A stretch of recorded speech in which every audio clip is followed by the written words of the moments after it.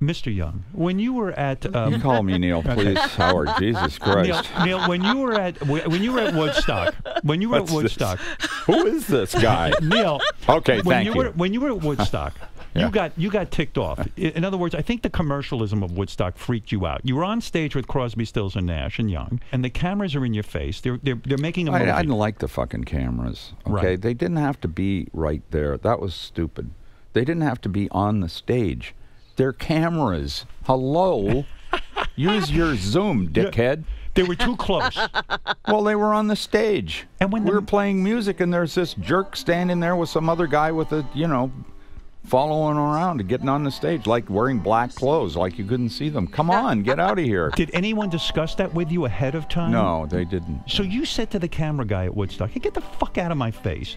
And as a result, you're not in the movie. We just see Crosby, Stills, and Nash. Yes. I love that movie, the way they say it. If you listen to when they introduce Crosby, Stills, and Nash, you can tell. Wait a minute. Did I say the full name of the band there? Ladies and gentlemen, please welcome with us Crosby, Stills, and Nash. you can tell that they cut. If Right. you listen, it's it jumps. They had to take my name out and use the other two names in the right order. Ah.